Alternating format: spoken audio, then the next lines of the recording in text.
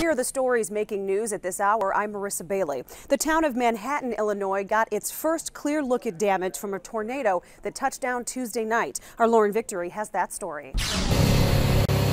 Whether it was the drone from machines or the dread, this Manhattan homeowner woke up exhausted. A tornado ripped through her south suburban town last night. The house she just bought in August was spared. Her lush lawn with beautiful berry trees was not.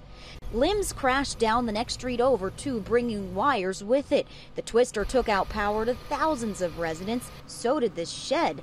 The gnarled debris taken down by ComEd crews to restore electricity.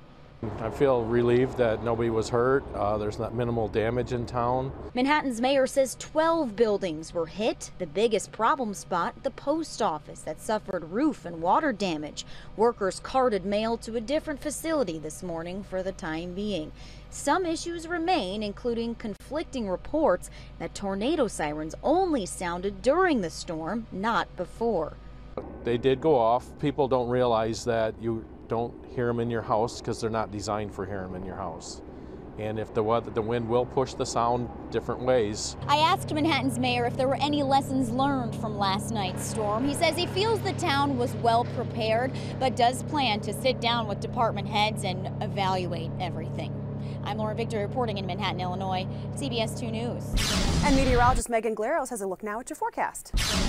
Hi everyone, I'm meteorologist Megan Glaros. We are looking at a lot of cloud cover today, maybe a few stray showers, not the prettiest day out there, but working forward, we get a lot of sunshine. By tomorrow, we're up to a lot of sun and 88 degrees for the high, but the heat keeps streaming in. We'll be to the mid 90s on Friday. We'll stay in the mid 90s on Saturday and be low 90s on Sunday. Temperature wise, we're mid to upper 80s on Monday and Tuesday. So we are talking about a lot of heat coming in across Chicagoland.